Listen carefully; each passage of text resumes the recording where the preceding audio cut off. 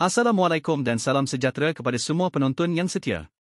Kami ingin mengucapkan terima kasih kepada setiap individu yang telah memberikan sokongan dengan menekan tombol subscribe dan loceng untuk mendapatkan kemas kini terkini daripada kami. Laporan berita, Bantuan Tunai STR Isi Rumah 2024 Kerajaan Malaysia meneruskan inisiatif bantuan keuangan kepada rakyat melalui program Sumbangan Tunai Rahmah STR bagi tahun 2024. Bantuan tunai ini akan diberikan kepada kategori isi rumah dengan jumlah maksimum sehingga 2,500 RM setahun yang akan disalurkan dalam empat fasa pembayaran.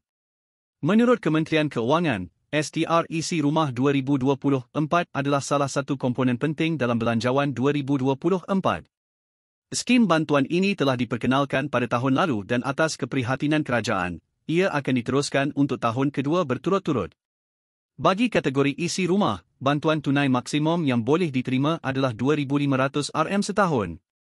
Jumlah ini ditentukan berdasarkan pendapatan bulanan dan bilangan tanggungan anak dalam sesebuah isi rumah.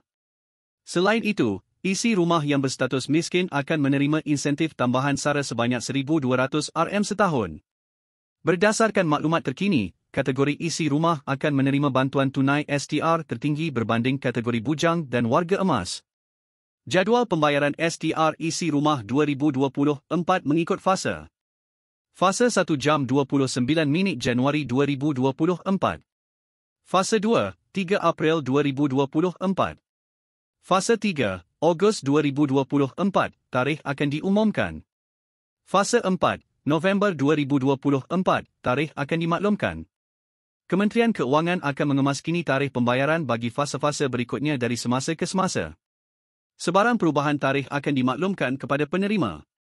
Kaedah pembayaran Pembayaran STR bagi sesi tahun 2024 akan dilakukan melalui dua kaedah, pengkreditan terus ke dalam akaun bank penerima atau penebusan tunai di kaunter Bank Simpanan Nasional, BSN, bagi penerima yang tidak mempunyai akaun bank.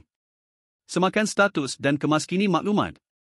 Penerima sedia ada STR boleh membuat semakan status pembayaran mengikut fasa. Bagi mereka yang ingin mendaftar baru, mengemaskini maklumat atau menyemak status pembayaran, boleh melayari laman portal rasmi Bantuan Tunai STR 2024. Dengan pelaksanaan bantuan STR ini, diharapkan dapat meringankan beban keuangan rakyat Malaysia dan memastikan kesejahteraan setiap isi rumah di negara ini.